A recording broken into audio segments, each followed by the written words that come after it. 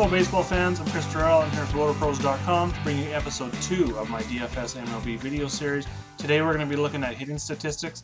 In episode one, you can go back and check that out. We talked about pitching statistics. Before we get started today, if you're not a RotoPros member yet, make sure to get over to RotoPros.com. Go to the top of the page, click that yellow sign up button in the top right hand corner, and get your free trial to come in and check out all that we that we offer. Um, and then we've got weekly, monthly, and yearly subscriptions after that.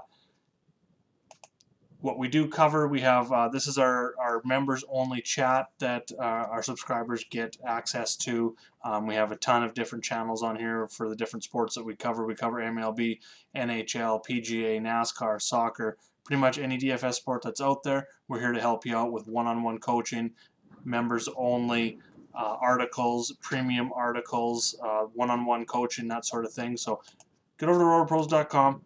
Pretty sure you're not going to be disappointed. Uh, stick with us for the long run. We're going to be there to help you out.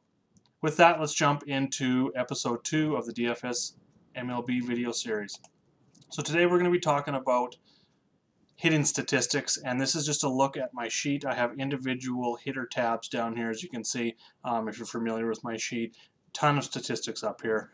I want to teach you what statistics I'm using, what they mean, and why I insert them into my sheet and look at them on a daily basis when looking at my research. So this is kind of what it looks like. Um, you can go back and check out how I use my sheet in uh, the video as well on the YouTube channel. You'll find that right near the top of the page when you go to our uh, YouTube channel. But for today, let's go over some hidden statistics. Starting off, I do use Fangraphs. You can see the tabs up here. We're going to cover some stuff and look at some examples. Um, it, as we after we go through each stat and what it means. But uh, so these stats are the ones I look at a lot from from Fangraphs. Average, that's pretty self-explanatory, old school stat. Um, pretty much hits per uh, plate appearance. And we've got on base percentage, which also adds walks and hit by pitch into that number to give you a better measure of how often a player is getting on base, or rather not getting out, which is kind of what we're looking for as a player. Um, we're getting fantasy points pretty much every time they're not getting out. So. Slugging percentage is just your total bases per at bat. Now, average on base percentage and slugging percentage, you're going to hear me talk about this a lot, uh, players slash line. Um, so that's going to be their average followed by on base percentage and slugging percentage. Um, just a quick, easy way to put all those things together. Now, um, BABIP I have next on the list here, but I'm going to jump over here just for a second. Putting those three stats together that we just talked about, average on base percentage and slugging percentage, I love using WOBA which is weighted on base percentage, and it really combines all three of those stats into one measurable stat. And it, it met, what it's doing is measuring a hitter's overall offensive value and giving different weights to walks, singles, doubles, triples, home runs, because each one is a little more important and gives a little more value, um, especially when looking at fantasy, than the other. Singles better than a walk, doubles better than a single, triples better than a double, and home runs better than a triple, um, and so on. So it does combine the aspects of average on base percentage and slugging percentage. League average is around 320. You're getting into the elite hitters when you start looking in that 370 plus range. So keep that in mind. And then we'll go back up here to BABIP. I'm going to hear that quite a bit as well. That's batting average of balls in play. So we can use this tool to really, what I use it for is to help identify players who are maybe over or under underperforming, and I compare that to their average. So if you have a player that's maybe hitting 380 to start the year, but his BABIP is up, say, in that 350, 360 range, um, but his career averages are kind of sitting around that 300, 297, that kind of area. We kind of feel like his he's going to regress back to that career mean, um, in which case his average is probably going to drop as well. And it kind of gives a little bit of the why is he hitting so well right now, um, because when he's putting a ball in play, it's either you know finding a hole, finding a gap, and it's really missing the the defenders that are out there. So BABIP's a tool we can use just to kind of analyze overperforming or underperforming players. So going down, uh, next up we got uh, WRC Plus, which is a weighted runs created plus. It's very similar to WOBA in that it, it weighs walks, singles, doubles, home runs, triples. It, it weighs all that differently and puts more weight on on the, on those stats um, depending on what they are. But what makes it a little bit different is it also accounts for park factor um, which kind of brings all the players together because we know some players. Um, you look at the Colorado Rockies; they play 82 games in Coors Field, which is a really good hitters park. Versus say the Houston Astros who are in one of the best pitchers parks um, as well. So it just kind of gives you a league average when looking at that. And then it gives it a scale of 100. So league average is right around 100. So if you see a team or a player that is above that 100 mark, that for each point that is a percentage point better than league average. So for example, player X has a WRC plus of 125. That means he's 25% better at creating runs than league average. Um, pretty much how we look at that. And then again, if, if say player X had a WRC plus of 80, he is 20% less than league average when creating runs. So moving on, we've got K and walk percentage, pretty standard there. The average number, uh, K percentage, is about 20%. Uh, elite, you're looking at that sub 12% range. And then walk percentage average is about 8%. Um, elite is in the 12% and greater range when looking at walks. Now, those league averages do vary a bit from year to year, but this is just a general uh, average when looking at the numbers. So then going down, getting a little more advanced with the stats, we're looking at ISO, just isolated power. Um, it pretty much tells you um, extra base hits per at bat when looking at those players. Helps you find players who do hit more extra base hits than singles. Um, average doesn't really tell us that. Um, either does on base percentage in in when looking at those stats. So ISO really helps us to distinguish players who are hitting for extra base hits, which are obviously going to give us more fantasy points than players that are just hitting singles, which for the most part are just, you know, if they're not scoring runs or stealing bases after those singles, it's not a lot of points that we're getting there. So it can help us target the players that we're looking for either for cash or GPP formats.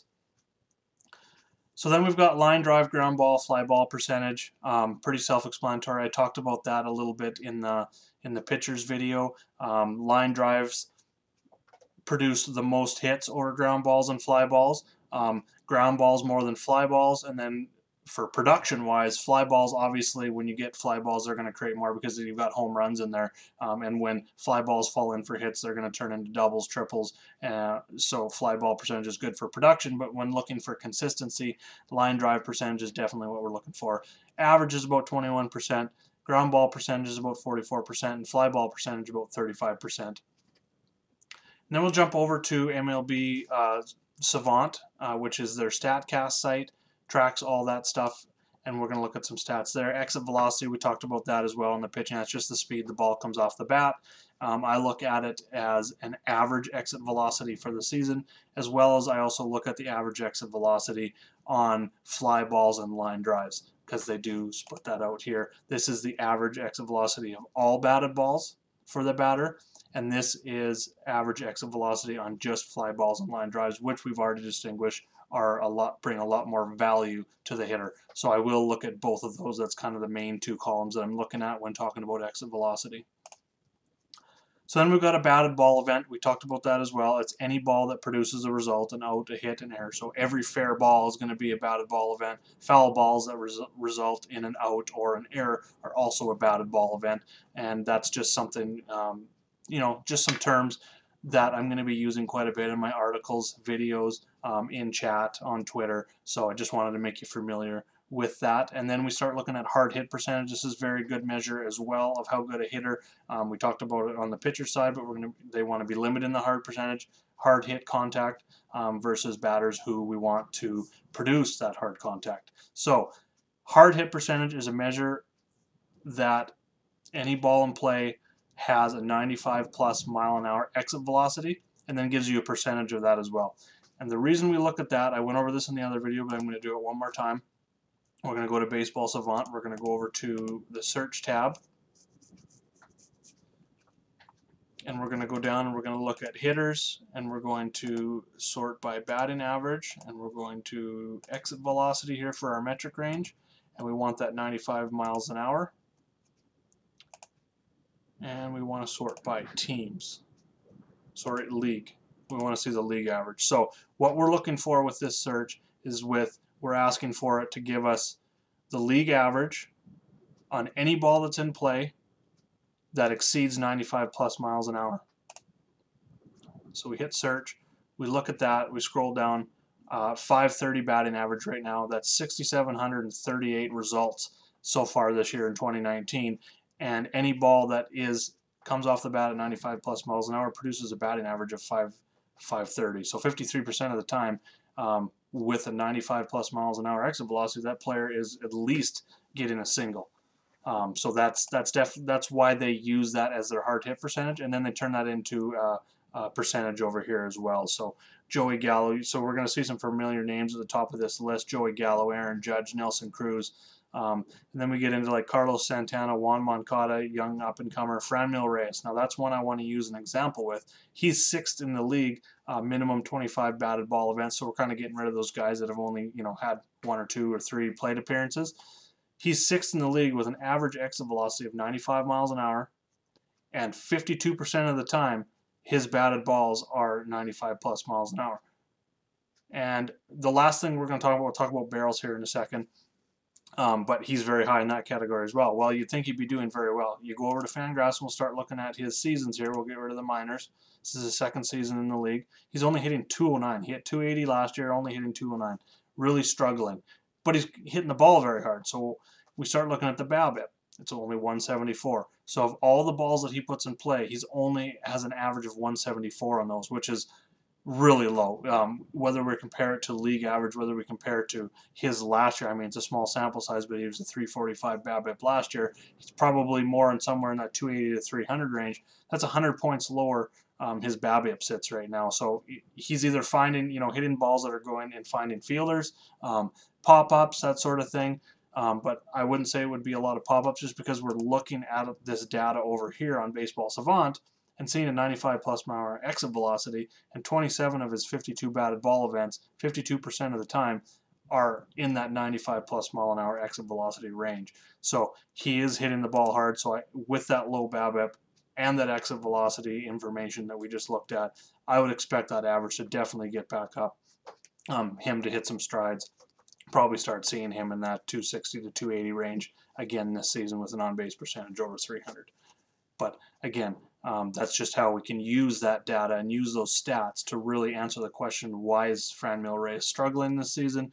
Why is his BABIP really low?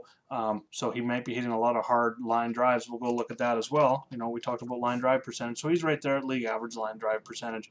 His ground balls are down, his fly balls are up. So he's hitting a lot of fly balls. They're not quite weather, you know, temperature's cold. I mean, um, he does play in San Diego, but it's a little bit cooler on um, playing on some of those games on the road. So either way, looking for some positive regression with Franmil Reyes, and that's just kind of how I use some of those stats to really go ahead and answer the questions of why when looking at a hitter. Is he overperforming? Is he underperforming? What can we expect from this hitter going forward? And that helps us uh, in DFS as well as season-long fantasy when trying to predict what a player is going to do on a given day.